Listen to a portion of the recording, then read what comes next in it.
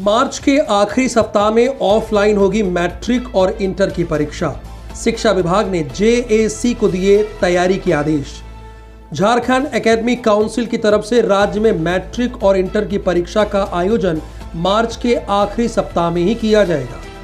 इस संबंध में शिक्षा विभाग की तरफ़ से जेएसी को आदेश दे दिया गया है। शिक्षा सचिव ने अपने आदेश में कहा है कि राज्य में परीक्षा ऑफलाइन आयोजित की जाएगी।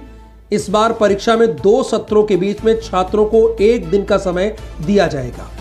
इस बार परीक्षा नए प्रारूप में होगा।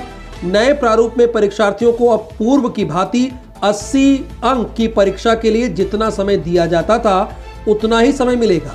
परीक्षार्थियों को अब तीन घंटे का समय दिया जाएगा। ओएमआर शीट और उत्तर पुस्तिका पर होगी परीक्षा। अब दिसंबर और मार्च में होने वाली परीक्षा एक साथ दो टर्म में होगी। दोनों के लिए एक घंटे तीस मिनट का समय मिलेगा। 80 अंक में से 40 अंक की परीक्षा प्रथम चरण की परीक्षा के अनुरूप ओ एम आर शीट पर ली जाएगी, जबकि दूसरे चरण की परीक्षा उत्तर पुस्तिका पर होगी। प्रथम चरण की परीक्षा के सभी प्रश्न बहुविकल्पी होंगे और दूसरे चरण की परीक्षा में लघु और दीर्घ उत्तरी समेत सभी प्रकार के प्रश्न पूछे जाएँगे।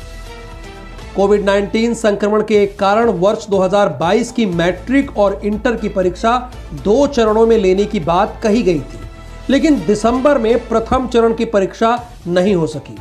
अब दो चरणों में परीक्षा लेने के लिए पर्याप्त समय नहीं होने के कारण एक ही चरण में परीक्षा ली जाएगी, परंतु परीक्षार्थियों को किसी प्रकार की परेशानी न हो, इस कारण पूर्व में तय प्रश्न पत्र के पैटर्न के अनुरूप ही परीक्षा ली जाएगी।